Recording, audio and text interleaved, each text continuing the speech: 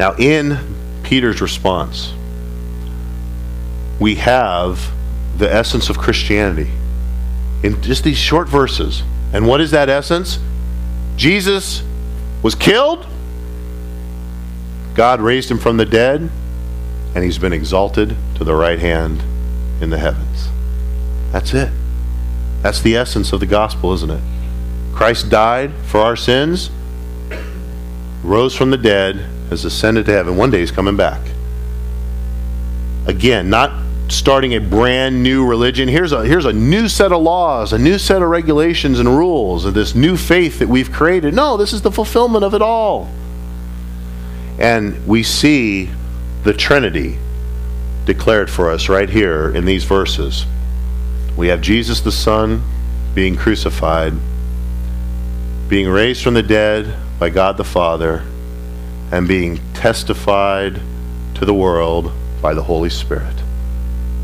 Always remember when we discuss the Trinity, our belief, we have one God, and the Father, the Son, the Holy Spirit equally and fully and simultaneously share in all the attributes, all the essence of God.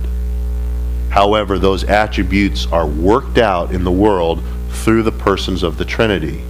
Jesus was the one who died on the cross. The Father did not die on the cross. The Holy Spirit did not die on the cross. Jesus died on the cross. It is the Holy Spirit who is testifying to the resurrection. The Father's not testifying. Jesus isn't testifying. The Holy Spirit is. So you see the persons of the Trinity work out the different attributes and actions of God.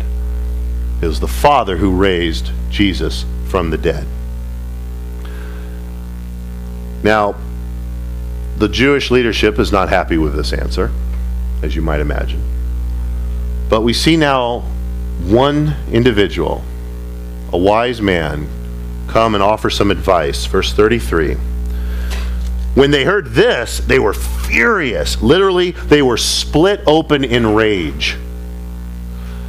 And they plotted to kill them.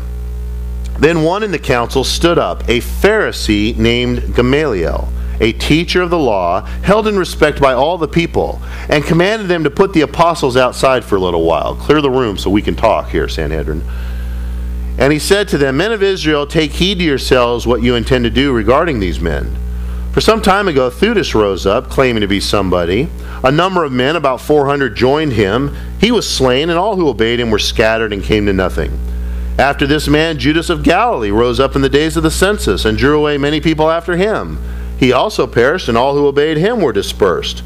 And now I say to you, keep away from these men and let them alone. For if this plan or this work is of men, it'll come to nothing. But if it is of God, you cannot overthrow it, lest you even be found to fight against God.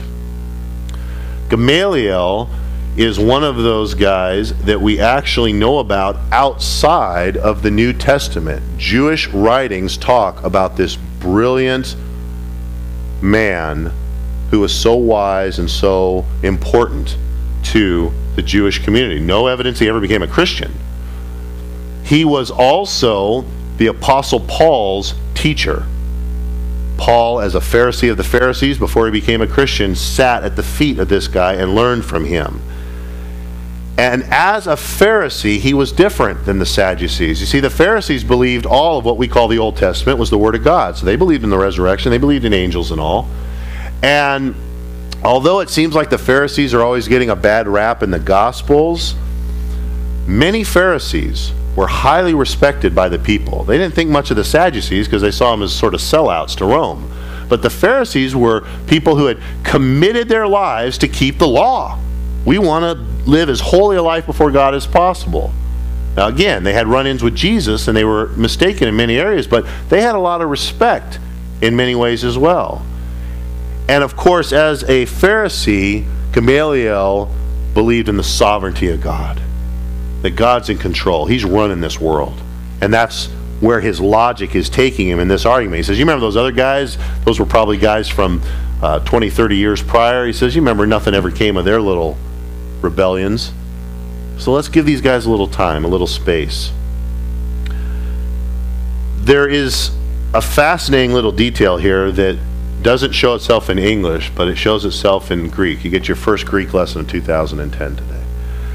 And that has to do with these conditional sentences, these if sentences. You see, the Greeks had a way when there was an if sentence to express it differently to imply a different meaning. For example, if you wanted to say if so and so, and maybe it was going to happen, maybe it wasn't, there was a way to express that. But if you wanted to say, hey, if you're going to do this and the implication is you want to, then you would express it in a, a second way. So the exact same phrase, like a parent might say to their child, if you want to get pizza tonight, you better make sure your room gets cleaned up. And those exact same words could be expressed two different ways and give you two different meanings. Because on the one hand, if they're expressed one way, if you want to get pizza, I don't know if you want to get pizza or not. Maybe you do, maybe you don't. Or if the parent really knows that the child wants to get pizza, they've already talked about it, might say, hey, if you want to get pizza tonight, better make sure the room's. It's implied that you do. So you see the difference there. The reason that's significant here is because both ways are used right here. First, when Gamaliel says, if this plan or this work is of men, it will come to nothing, he's using the one where he's taking no opinion. Oh, yeah, maybe it is, maybe it isn't. But then when he says, but if it is of God, and you can't fight it, there he's using, and we assume it is. That was what he was expressing. Fascinating that he would not have been speaking Greek. The Sanhedrin gathers together. They all know Greek, but they're going to be talking in Aramaic or maybe Hebrew. Luke, of course, is writing the New Testament in Greek, and he's trying to put, as the Holy Spirit guides him, down what came out of this meeting. And he expresses it in this way. The Holy Spirit wants us to see this expressed, see where Gamaliel's coming from. That God's beginning to open at least one eye, one set of eyes there in the Sanhedrin. And of course, what has history shown us but the continued growth and expansion of the gospel of Jesus Christ throughout the world? You know, there have been religions that have a strong influence in one geographic spot, one country or a couple neighboring countries. But Christianity went for almost 300 years as enemies to the political state and continued to grow and expand without any political help. It wasn't until the early 4th century that Christianity was ever really recognized by the Roman Empire. And to the present day, we've seen how all the nations of the world have some Christian presence, some church, some body of believers. Many of them are underground, many of them are hidden because the governments that they have to submit to in the lands they live in are not kind to Christianity. But nevertheless, it has spread for 2,000 years. You can't fight against God. And so, the advice is given. The leadership says, yeah, it makes sense. And yet, look at the attack still upon the apostles. Verse 40. And they agreed with him.